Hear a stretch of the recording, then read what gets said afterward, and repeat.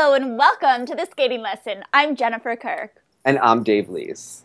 So today we, we're both so excited. We're going to be filming with Nathan Chen. I'm pretty excited because we've had obviously Spicy Nam on a couple months ago, and they've always been grouped together, kind of like Sasha and Naomi, Jenny Kirk and Deanna Stellato, Nam and Nathan. So I'm pretty excited about this. And they both have end names too, yes. They and have. they've been posting these dueling quad videos on Instagram. It's all about this social media. We love it. And just this summer, we're seeing both of them do the quad toes. We've saw Nam do the quad sal. So we want to ask Nathan about that. His Michael Jackson program last year, I fell in love. I think so many of us fell in love with his personality. Will he be keeping it this season? How has training been going? And he's been plagued with injuries the past few years. We want to see how his body is feeling heading into this upcoming season. Yeah, I remember Nathan back when we used to see him in the Nationals showcase skating Peter and the Wolf, and then yes, he didn't even like reach the boards. Do you remember that? Didn't even reach the boards, but every year he made sure that he was in that showcase. So I think we love him forever. We need to be on top of our lives, as Nathan Chen is. So we hope that you're as excited for this interview as we are. Yeah. Well, Nathan, welcome to the skating lesson. We're so excited to have you. Thank you. It's a pleasure to be here. Well, we haven't seen that much of you the last few months, but then lately you've popped up on Instagram and it has been quad, quad, quad, triples all around. So how has training been going? Training has been going good. I've kind of been plagued with injuries these past few seasons, and I'm still kind of dealing with one right now. Um, I've been having like a little bit of basically all my injuries over the past few seasons have been like growth related. So basically, as soon as I'm done growing, hopefully all of these will go away. But as of right now, I'm kind of dealing with a little bit of shoulder injury. So walk us through your injuries, what you've had the past couple of years. When are you going to stop growing? Have they tested your growth plates at the doctor? How on top of this are you? Okay, so basically everything started with Osgood Schlatters, which is in my knees, and then it kind of transferred down into my heels, and that was during last season, and then it went up into like my hips and my backs a little bit, and then now it's up to my shoulder, and I probably will be done growing within the next two three years, hopefully. Like that's kind of the targeted range right now. What right, sort of treatment? Yeah, what sort of treatment are you doing for your shoulder? I mean, how does that affect you when you pull in on jumps and whatnot? So basically, it is sort of overuse. Every time that I rotate, that is kind of what irritates the area. And I've just been doing a lot of PT, and it's been helping so much. So that's been good. We hope it stays okay throughout this season. now, we've seen Spicy Nam from Canada. He's been posting yeah. quads as well. We've seen quad yeah. and quad sal. So it seems like you two are in a little race. Have you been working on the quad sal as well? Um, quad sal is kind of like the jump that I just like I'll work on if I feel good. If I don't, then I'll just kind of lay it back. But quad toe is something that I'm trying to get consistent and same with my triple axel. Well, it looks fantastic, so respect. Thanks. Thanks. So when the Grand Prix assignments came out, we didn't see your name on the list. We immediately texted Doug Razzano asking what's going on because he's very connected. Um, yeah. So are you going to be staying junior this year? Are you going senior? There's that. You're going senior or junior? I'll be continue. I'll be staying junior, junior Grand Prix, but obviously no, senior. No, why did you decide to continue junior Grand Prix? Um, well, first off, be, based off of my results from last year, um, I didn't gain enough points for two senior Grand Prix, so I mm-hmm. felt like we, like, uh, our, my whole team decided that like it's probably the smartest decision for me to just stay as a junior and just like fulfill what I need to do as a junior, and then when I start maturing more, then I can go up to senior, and hopefully that'll happen by next season. Okay. So you'll be doing the quad at the junior Grand Prix? I will be. Yeah, that's the plan. Well, we loved your Michael Jackson short program last season. Thanks. It brought out a new side to your personality. So, will you yeah. be keeping that for this season? I will be, yeah. I'll be keeping that the whole season. Perfect. Now, we've seen character driven pieces by you in the past at Nationals. The audience really gets into it. What is it about this program that you love so much, and how did you come up with the idea for it? Um, so basically, this is this was choreographed by my coach's assistant Nadia Kanaeva, and she basically wanted me to like branch out artistically and uh, she just she was looking at a whole bunch of different pieces from like Beatles to um, Queen to Michael Jackson, and then we kind of decided maybe this is Michael Jackson's so new to me, like it's some something totally different, and so we just decided like maybe this is a good step for me, and she just decided she just put something like a little piece together just to see how it looked, and she thought it fit me pretty well, so that she, she was like, okay, well let's keep on going and like um, add on to this, and so it kind of just became a thing. So is that something I was gonna say that personality because you seem very like reserved and focused. We see a lot of like piano yeah. long programs. So are you somebody? Do you dance around to music in front of the mirror when you get out of the shower? I mean, this part of your personality. How did she know that this music would work for you? Um, I am always just reserved. Like that's just kind of my personality, and I am really uncomfortable doing this kind of program. So even last year, my Chattanooga, Chattanooga Choo Choo program was kind of was a little bit difficult for me to come out because like I'm just not that's just not my style. So like but um, she just she just totally wanted me to get out of my little shell and like out of my comfort zone and do something totally different. And I guess she just nailed it. yeah, it works for you. Was it horrifying practicing it at first? Because I because you at can't go like, halfway with Michael. Jackson. yeah, like and you go yeah the moonwalk. You got to go all the way. I mean, how embarrassed yeah. were you?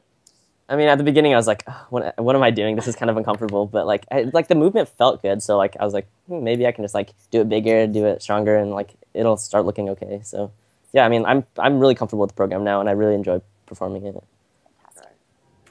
Well, we many skaters either struggle with the quad or the triple axel. So we want to know which has been harder for you. Triple axel has like always been my ne- nemesis for the past four years. Like I landed it when I was 12, and like I've been struggling with it on and off like these past four years. So triple axel is definitely the one that's. What is it about the axel? Do you think that makes it harder for you than the quad? The quad is just all about power honestly. Like if you just put yourself in the right position you can just you just put your power in and it happens. But with the triple axel like there's so much finesse and like you just have to do exactly the correct technique and it. Like that's just not really like i'm just i'm always so used to just forcing it and putting all my power into the jump and then that just doesn't happen on the triple axel to kind of let it happen. Yeah. Well what do you know how competitive you are? Because speaking about the triple axel at boston nationals i was sitting at one end of the ice and you took a fall in your long program. Yeah. like hard, like sm- ice smacking. Yeah, like yeah. It, there was a thud, a sound. You got up, went to the other side of the rink, and then nailed it. Another one. So how yeah. competitive are you in competition? Um, well, I mean, I had already planned two triple axels in that program, and basically, when I plan something, I'll do it in competition no matter what happens. And I mean, after after that first triple axel, like that kind of like every time that I fall during any practices or anything, it kind of like makes me it, like it pulls me down a little bit. So like I took a little bit of time to breathe and like I really just got everything together and like thought about what I did wrong and just tried to fix it in the next axel. Well, you're coached by Rafael, and he always seems very focused and kind of determined when we see him in the kiss and cry. What is he like yeah. as a coach? What is it like training with him every day? Um, initially, when I went to him, I thought that he was like a really scary, like tough Russian guy, but yeah. like he's really he is he has his moments where he is pretty tough. He is a very tough guy, but he is very like thoughtful and respectful to me, and he's helped me a ton over the past few years. Well, this past season at nationals, after the short program, we were surprised that you skated the long program. We actually on Twitter somebody had reported that you had withdrawn, and then we saw you out on the ice. What happened exactly in terms of your injury, and what played into your decision to compete the long program, and just how difficult was that for you? So nationals was pretty rough for me. So like I had this injury going on. Probably I was fine two weeks going into nationals. The last week of nationals, it just came out of nowhere, and it was like like really bad. And I, I wasn't really sure if I was gonna, even going to go to nationals in the first place. But like, I this was my first senior nationals. I really wanted to experience it, like regardless of what happened. So I went to go, and then before the short program, the doctors at uh, at nationals they gave me a shot to help, um, or they gave me some pills to help with the pain, and I think there was like it was a little bit of an overdose. So it gave me some really really bad like sickness like reactions. And i was like i was just in bed the whole day before the short program. Couldn't get out at all. I missed my 20 minute warm up i missed everything. And then i was just like but i mean i already knew that i got this far. I might as well just continue on with it. So i went to the rink for the six minute warm up and just like tried to do as best as i could. And i mean I, based off of what i of like what my situation was i thought i did pretty well. And then going to, i had a few days in between in between the short and the long. And um, the the overdose of the of the medicines kind of wore off a little bit, and so they gave me a different medication, which helped me but got me really weak, and that was like really rough. So that's a big portion of reason why I didn't, I wasn't really sure if I wanted to go uh, compete the long. But I mean, of course, I already went this far, and I really wanted to experience what it was like as a senior. I just decided to just try the best that I could. Remember Rafael telling you you were a man now afterwards. yeah. That was Jenny's moments of the season. Yes. Graduated, yes. Yeah. So yeah. we saw you struggle in the short at Junior Worlds, but then you came back in the free skate and really moved up a lot of places. And Junior Worlds hasn't always been your best event. So what was this year's experience like coming off of such a rough nationals?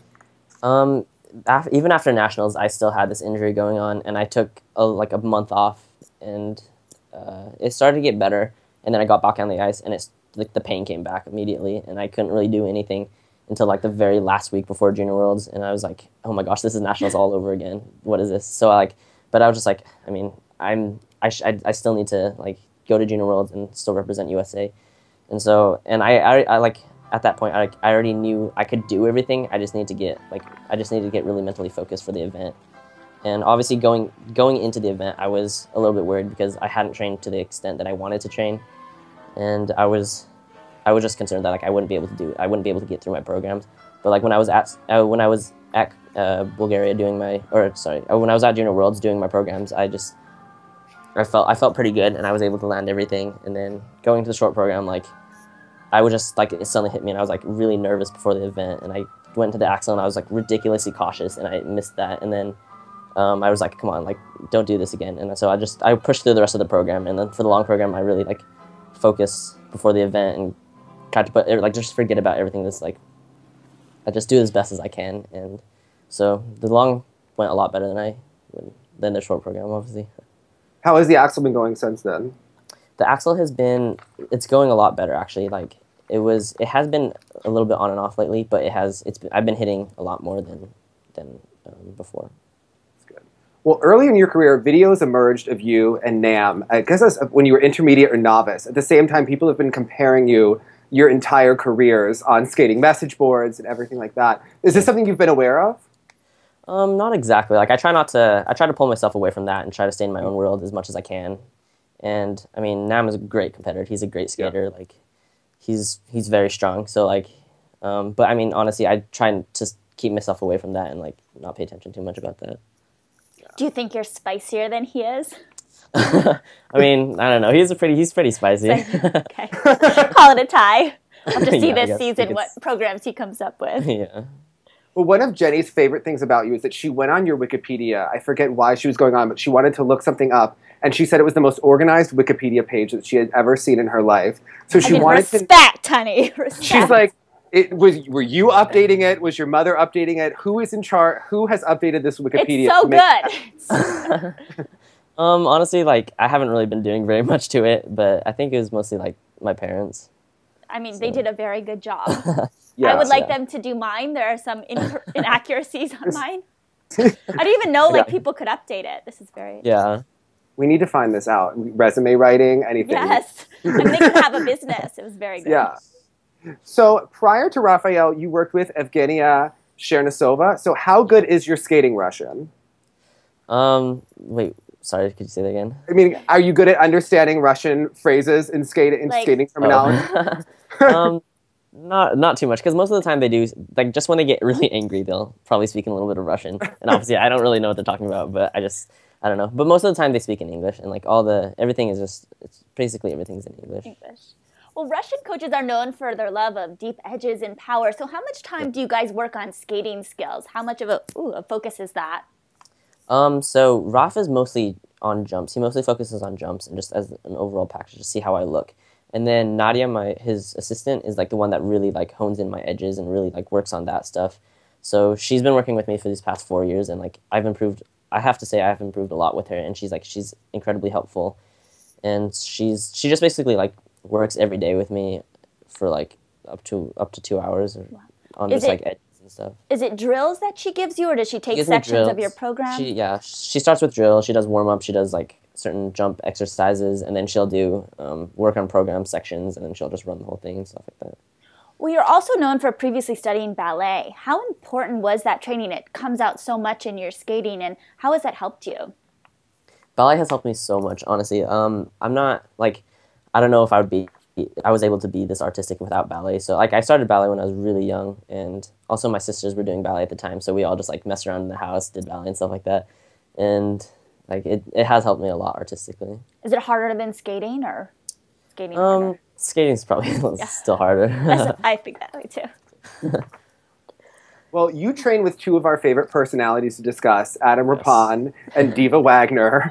so we want to discuss how would you discuss their personalities and training styles on the ice? Um, they're both in, like incredibly hard workers. Um, like we all share a locker room. Like I'm not, I can't say that we're incredibly close, but like they're just really fun to have around, and they're Adam and Ashley are like really good, um, like just training partners. Pushes you. Yeah. Yeah, definitely. Well, they definitely have new hairstyles for summer. so, what was the reaction when we first saw these in the ring? Did Rafael like this? Is he someone that cares about that sort of thing? I mean, personally, I think that Rock. Well, obviously he noticed them and he, he talked to them. it's hard not to. yeah, yeah, exactly. But I, I mean, I think he was okay with that, and everybody was like, "Wow, actually, this they actually look pretty good." so like, I don't think every, anyone really like like gave them any shade about that. oh, that's good. No, no throwing Just us. Just us. Has Adam ever tried to like give you some hair tips, style tips? Not really. I'm def- I could ask him. he could throw some good stuff for me. Some good stuff. Well, on a serious note, as we look ahead to the 2015-2016 season, what are your goals? Do you have concrete goals at this time? When is your first competition? What can you tell us about what you want to accomplish this season?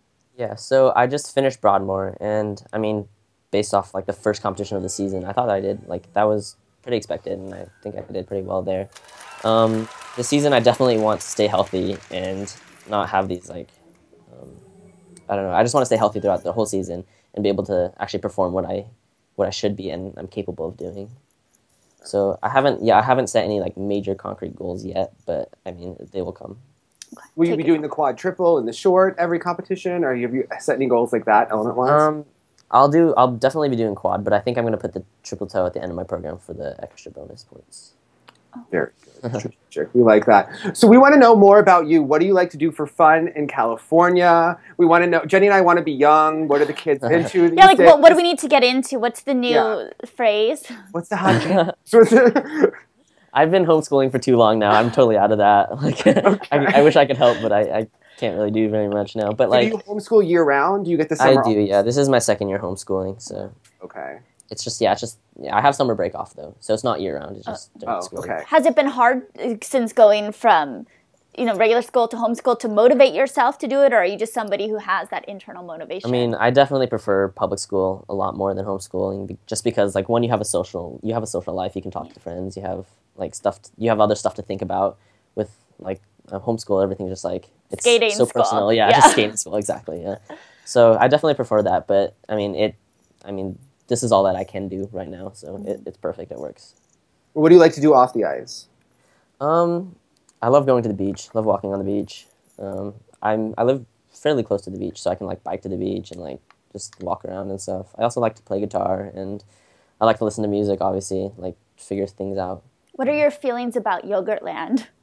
Yogurtland is amazing. Amazing, I right? I can't go too many times though, obviously. Do you know I just got my platinum card? Yeah. I'm oh platinum oh status. Yeah. That's awesome. Yes. Okay. Yeah, Yogurtland's awesome. I love it. Uh, do you do In and Out Burger? I... have gone a few times, but like it's pretty greasy. yeah. So is In and Out Burger old? Because I, I, don't live in LA. So is In and Out Burger like last year, and now we're into Yogurtland? Like what is? In and Out is like ten years ago, Dave. In and yeah, In and Out's like pretty old, but I mean it's like it's pretty traditional. So everyone like as soon as you visit California, you have to try In and Out. It's, like, yeah, it's very good. It's it is good. I like. But it. it's it's you know fast food. It's not yeah, training yeah. food.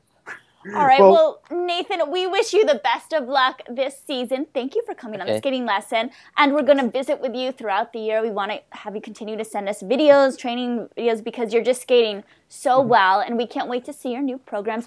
What can you tell us about any of the competitions coming up? Will you be doing anything here in California in the next few I'm weeks? actually doing Glacier Falls this week, next weekend. So. Oh, I will be there. Cool. Oh, I will so come watch. I'll be competing that. Yep. Perfect. Well, we'll look forward to seeing you compete there, and thank you Thanks. for coming on the skating lesson. Thank you. Yeah.